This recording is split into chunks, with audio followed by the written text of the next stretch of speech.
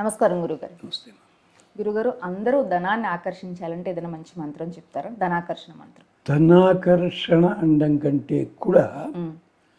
మనకి రావలసిన న్యాయబద్ధంగా. వచ్చి తీరాలి. ఎక్కడైనా బ్లాక్ అయిపోయి ఉంటే అది మనకి రావాలి. ఇది కోరిక. దీనికోసం ఒక అత్యద్భుతమైన త్రు- తరతరాలుగా చేస్తున్నారు. ఈ మధ్యకాలంలో మర్చిపోతున్నారు వాడు పాపం. అరచేతి సైజు రాగి పళ్ళని తీసుకోండి రాగి ప్లేటు. అరచేతి అంతకంటే పెద్దదొద్దు పెద్ద చేస్తే మంచిదే కానీ ఖర్చు ఎక్కువైపోతుంది. అరచేతి సైజు దాంట్లో నూనె వేసి పదకొండు కానీ పదమూడు కానీ ఒత్తులు కుంకంతో మిలిపి ఎర్ర ఒత్తులు ఎలా వేయాలి? అంటే నక్షత్రాకారంలో ఇలా ఇలా ఇలా ఇలాగ వేయాలి. వేసి వెలిగించి యువతలకి పెట్టండి అది. ఆ ఒత్తులు నూనె అయిపోయింది అది కాలిపోతాయి పొగలు వస్తాయి చదువుకొని యువతలకు పెట్టుకోవాలి. పెట్టుకొని మీ ఇష్టదైవం శివుడా విష్ణువా ఎవడ ఇది ఏం బాధ లేదు. పెట్టుకోండి. ఇప్పుడు చెప్పబోయే శ్లోకాన్ని శ్రద్ధగా చదవండి తప్పనిసరిగా నూట ఎనిమిది సార్లు. ఓసారి నారదుడు వెళ్ళి వెళ్ళి చూస్తే సుదర్శనం అక్కడే ఉందిట. ఏమయ్యా ఎలా ఉన్నవయ్యా? అన్నట్ట. బాగానే ఉన్నా గురుగారు అన్నట్ట. ఏమిటో పడేది కష్టం నువ్వు పేరు మాత్రం ఆయనకి అన్నట్ట నారదుడు. ఇదేమిటి? అవును శత్రువులందరినీ చంపావు నువ్వు కదా. పేరు మాత్రం చక్రధారి అని ఆయన పేరు వచ్చేసింది. అవునండి నాకు ఇండిపెండెంట్గా పేరు రావాలన్నట్ట. ఓహో అలాగా? చూడు అన్నాడు. పరమాత్మ అడిగట నేను వెళ్ళి ఒక రూపం ధరిస్తాను. అంచేత నాకు పేరు రావాలి. కాకపోతే వెనక్కి రావాలంటే నువ్వే వచ్చి నన్ను తీసుకెళ్ళాలన్నట్ట. అల్లా వచ్చిన వాడే కార్తవీర్యార్జునుడు. అందుకనే పరశురాముడి చేతిలో వెళ్ళిపోయాడు కార్తవీర్యార్జునుడు వెనక్కి. ఈ కార్తవీర్యార్జున మంత్రాన్ని శ్రద్ధగా జపించినట్టయితే కార్తవీర్యార్జునుడు గొప్పతనం గురించి కాళిదాసు రఘువంశంలో చెప్తాడు. తన దేశంలో ఎవడైనా తప్పు చేద్దామని మనసులో అనుకుంటే చాలుట ప్రత్యక్షమైపోయి చావుగొట్టేస్తా అనేవాట కార్తవీర్యార్జునుడు.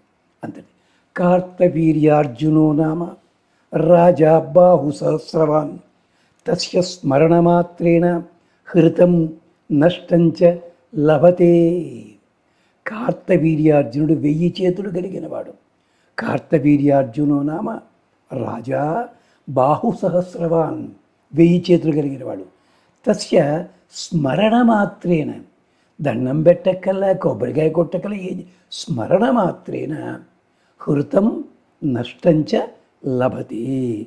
నీ దగ్గర దొంగిలించబడినది కానీ నష్టపోయింది కానీ తిరిగి వస్తుంది. ఒకప్పుడు పల్లెటూళ్ళల్లో నగలు పోయినా ఏదో వస్తువు కనిపించకపోయినా ఏదో చేసినా పురోహితుడిని పిలిచి అయ్యా కార్తవీర్యార్జున మంత్రం చదువుతారండి చేతడుగులు పెట్టారు ఆయన వెయ్యి సార్లు చదివే లోపల ఈ పోయిన నగ దొరికేది పోయిన వస్తువు దొరికేది. ఇప్పటికీ గోదావరి జిల్లాల్లో ఈ సాధన ఉంది. హృతం నష్టం. దొంగిలించబడినది నష్టమైనది. అలాగే మనకి రావలసిన సంపద ఎవడికో ఇచ్చాం. వాడు ఇవ్వటలేదు. ఇది చదవండి. వాడిని ఏమనకండి. వాడిని ఏమనొద్దు. చదువుకోండి. వాడే వచ్చి సారీ మాస్టారు అంటాడు పట్టుకొచ్చిస్తాడు. ఇది గొప్పతనము. కార్తవీర్యార్జునో నామ. రాజా బాహు సహస్రవాన్ ఎక్కడైనా ఒత్తులు ఉన్నాయండి? ఇబ్బంది పెడుతుందా? లేదు. మనకి ఎన్ని ఒత్తులు ఎన్ని కష్టంగా ఉంటే గొప్ప మంత్రం అనుకుంటాం. చాలా సులభమైన మంత్రాలు ఇవి. కార్తవీర్యార్జునో నామ. రాజా బాహు సహస్రవాన్ తస్య స్మరణమాత్రేణ. హృతం నష్టంచ లభతి. ఇది శ్రద్ధగా. నైవేద్యం ఏంటంటారా పానకం నైవేద్యం. పానకం పెట్టండి తాగండి. లేదు ఏమైనా స్వీట్ చేయగలిగితే చెయ్యండి. సరిపోతుంది. ఎన్నాళ్ళు చేయాలి?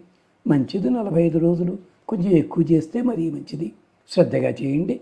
ఆ దీపానికి మాత్రం ఓ పదకొండు ప్రదక్షిణాలు చేసుకోవాలి. జాగ్రత్తగాను. ఆ పని చేయండి. ధన ప్రాప్తి జరుగుతుంది. ఖచ్చితంగా. ఇక్కడ ఇంకొక సందేహం కొంతమంది కలుగుతుంది. మరి కార్తవీర్యార్జునుడు జమదగ్నిని చంపేట కదండి. ఆ పరశురాముడి తండ్రిని యజ్ఞం చేశాడండి. కథ సరిగ్గా తెలియక దెబ్బతింటారు. కార్తవీర్యార్జునుడు జమదగ్నిని అవమానపరిచిన మాట అది నిజమే.